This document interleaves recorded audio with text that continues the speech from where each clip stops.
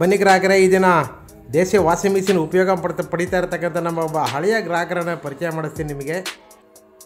ಎಲ್ಲರಿಗೂ ನಮಸ್ಕಾರ. ನಾನು ಸಿಂಧು ಅಂತ ಮಾತಾಡ್ತಿರೋದು ಗಾಜೂರು ಗ್ರಾಮ, ಮಳವಳ್ಳಿ ತಾಲೂಕು, ಮಂಡ್ಯ ಜಿಲ್ಲೆ.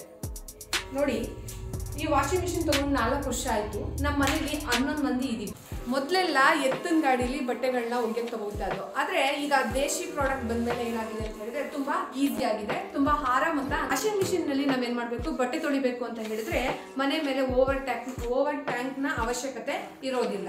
ಅಂದ್ರೆ ಬಟ್ಟೆ ಏನೋ ತೊಳಿಬೇಕಾದ್ರೆ ಬಿಂದಿಗೆಯಲ್ಲಿ ಏನ್ ಮಾಡ್ಬೋದು? ನೀರನ್ನ ಇದಕ್ಕೆ ಹಾಕೋಬಹುದು ಬನ್ನಿ ಗೆಳೆಯರೆ, ನಾವು ಹನ್ನೊಂದು ಜನ ಇದ್ದೀವಿ ನಮ್ಮ ಮನೇಲಿ ಅಂದ್ರೆ ಎಷ್ಟು ಈಸಿಯಾಗಿ ಏನ್ ಮಾಡ್ತೀನಿ? ನಾನು ಬಟ್ಟೆನ ತೊಳಿತೀನಿ ಅನ್ನೋದನ್ನ ನಿಮಗೆ ತೋರಿಸ್ಕೊಡ್ತೀನಿ. ಬನ್ನಿ.